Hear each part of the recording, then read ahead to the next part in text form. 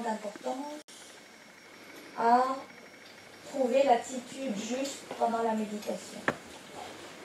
C'est une raison pour laquelle d'ailleurs les maîtres euh, sont très reluctants à transmettre euh, la méditation parce qu'ils estiment qu'avec une attitude incorrecte, ça peut être très dangereux. Et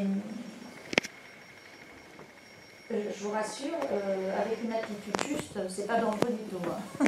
Mais c'est vrai que chez les taoïstes, chez les maîtres euh, dans les temples, euh, ils estiment qu'il faut d'abord avoir compris des concepts essentiels.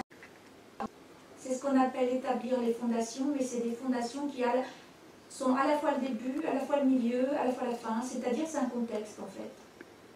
On a construit qu'on appelle, on a construit la cabane dans laquelle on méditera. Cette cabane, c'est une compréhension de certains éléments clés qui ne nous quitteront jamais, quelles que soient les phases de transformation qu'on traversera. Ces éléments, on les retrouve dans les grands textes.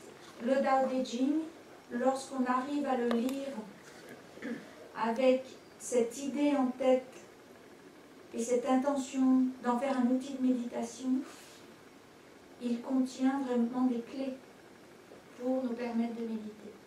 Donc, ce sont un des piliers de cette cabane, cette hutte de méditation qu'on va se construire, c'est les enseignements qu'il y a dans le Tao Te Ching.